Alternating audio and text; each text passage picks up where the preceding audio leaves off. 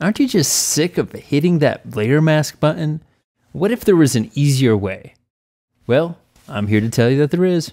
My name is Mike Wardynski, and I'm going to show you an easy way to create a keyboard shortcut for the layer mask button down here. The first thing we need to do is go to Edit, and we're going to navigate down to Keyboard Shortcuts.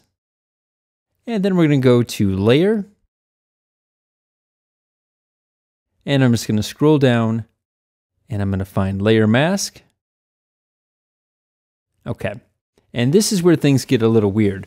There's no add layer mask or new layer mask option here, but there is a reveal all option, and that's the secret.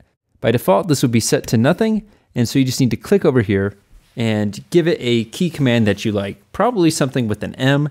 I use Shift Command M, which already is assigned to something else that I don't use, so I had no problem using Shift Command M. If you'd like a key command that isn't already used by Photoshop, go ahead and try Shift Control M, and that will work for you. When you're done, just hit OK. Now that we're back in the main Photoshop interface, all we need to do is make sure we have a layer selected, and I'll hit my key command, Shift Command M, and you can see I have a layer mask right here.